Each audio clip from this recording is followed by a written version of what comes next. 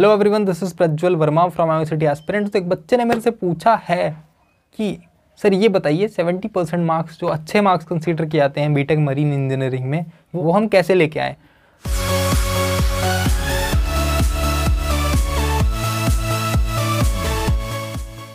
तो भाई देखो 70 परसेंट मार्क्स अच्छे मार्क्स कंसीडर नहीं होते हैं। इसको क्या जाता है एवरेज मार्क्स में कंसीडर के ठीक है एवरेज है। इससे आधे बंदे नीचे हैं, आधे बंदे ऊपर हैं। अगर आपकी बैच की बात करें बैच में 270 लोग हैं तो वन जिसकी रैंक होगी, उसके 70 परसेंट मार्क्स के आसपास होंगे।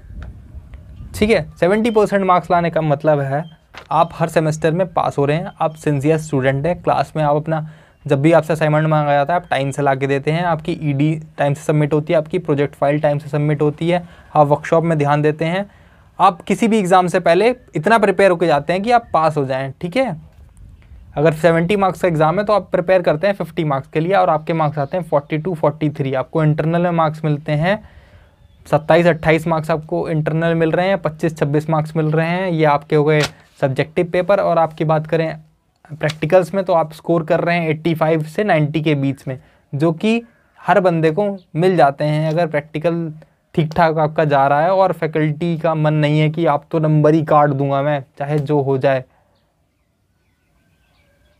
ठीक है तो ठीक ठीक से पढ़ते रहिएगा अपना कॉलेज में फेल मत होइएगा और सब्जेक्टिव एग्ज़ाम में पास होते रहिएगा और प्रैक्टिकल पेपर में अच्छे से परफॉर्म करते रहिएगा तो आपके सेवेंटी परसेंट मार्क्स अपने आप बन जाएँगे, ठीक है।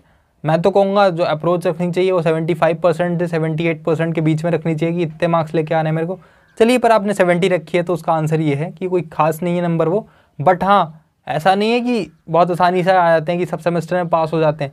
लोग फेल होते थे ऑफलाइन एग्ज़ाम में, लोगों की दस दस बैक लगी हुई हैं आठ आठ बैक लगी हुई हैं जब वो फोर्थ ईयर में पहुँच रहे हैं। तो ऐसा मत करिएगा seventy percent marks decent marks अगर आप ऑल क्लियर हैं, आपको बैठने को मौका मिल जाएगा कंपनीज़ में। अगर आप ऑल क्लियर हैं, आपके सेवेंटी परसेंट मार्क्स हैं तो ये मान के चलिए आपके बैच में टू सेवेंटी लोग हैं ना तो उसमें से वन सेवेंटी फेल होंगे। हर सेमेस्टर फेल होते हैं लोग इतने लगभग लगभग। या फिर टू हंड्रेड भी फेल हो सकते हैं। ठीक रीवैल का रिज़ल्ट आने के बाद पचास साठ लोग और पास हो जाएँगे। ठीक है, काफ़ी टफ है आई में लाइफ आई एम कोलकाता में स्पेसिफिकली लाइफ मार्क्स को लेके काफ़ी टफ है, ठीक है? तो मेरे हिसाब से इस तरीके से करेंगे तो आपके सेवेंटी परसेंट मार्क्स आ जाएँगे। So thank you very much for watching I am city aspirant signing off